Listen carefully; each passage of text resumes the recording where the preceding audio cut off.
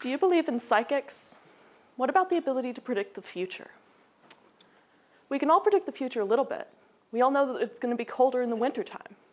But how great are our powers of prediction really? We all know that traffic might be a little bit slower if it's raining outside. But do you really know how many people are going to get hurt? Do you really know how many car accidents there's going to be? And how many of these people are going to need to go to the hospital? And how many people need to be at the hospital to help them? Well, at first glance, no. We can make educated guesses, but there's bound to be errors. And when you start to add up these errors across New Zealand's 220 hospitals and $17 billion annual healthcare budget, there's major environmental, social, and economic impacts. Despite all the wonders of modern medicine, the ability to predict hospital staffing needs continues to elude us. In order to take all of those variables and make an accurate prediction, you'd need a psychic. Well, let's meet that psychic. Introducing artificial neural networks. This is a type of computer learning algorithm. Conceptually speaking, it's a series of nodes with connections. These nodes fall into three categories, those that accept inputs, those that create outputs, and some hidden layers in between. Using the example, let's say a neural network has the task of deciding whether a photo is a dog, a cat, or a turtle. Sensible inputs for this might be, is it furry, and does it hiss? These inputs become, in the example of a cat, yes or no options. Then in the hidden layer, each node takes these inputs and makes a simple choice. These choices are added together and an output is reached, cat. In another example, let's say it gets something like this. It's not furry, but it does hiss.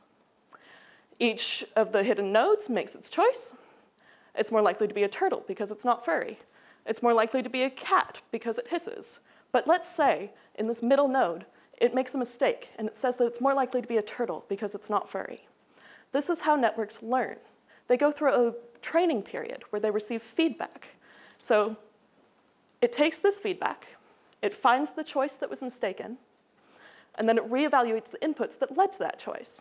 If in this case, hissing was more important to reaching the right final conclusion, then it weighs that choice more heavily so the next time that it gets this problem, it can reach the correct solution.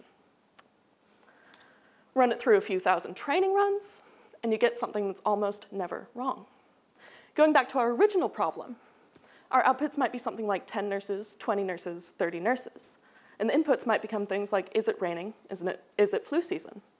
If you add more and more nodes, more and more inputs, and you run it against historical data, then you start to develop a really useful prediction tool. Compared to traditional statistical models that are only 80% accurate, artificial neural networks have an accuracy between 90 and 95%. So not only are they more accurate, but they can predict up to three months in advance. So in a hospital setting, in application, this means that you could create a roster three months in advance, and then on the day, reevaluate the predicted arrivals, and if there's a large number, interventions can be taken to free up bed space, like rescheduling elective procedures or moving patients to different wards. This allows healthcare providers to efficiently meet the, meet the demand for services. But it's not without limitations. Formatting medical data into a usable set of inputs is a major challenge. It requires a large initial cost for implementation. There's a large security risk associated with housing all medical data in one platform. And of course, some things can't be predicted.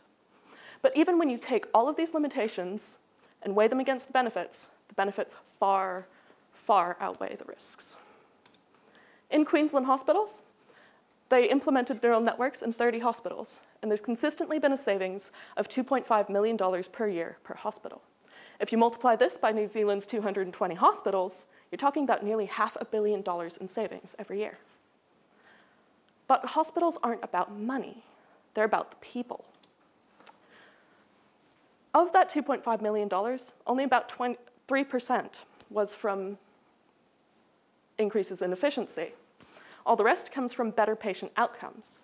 This ranges from 20% reduced wait times to shorter hospital stays to reduced mortality. It's better for the staff, too. A huge problem in New Zealand is that the average junior doctor works a 72-hour week. A huge reason this occurs is that in order to hire enough staff to create a 60-hour week, would cost an average hospital $1.3 million a year.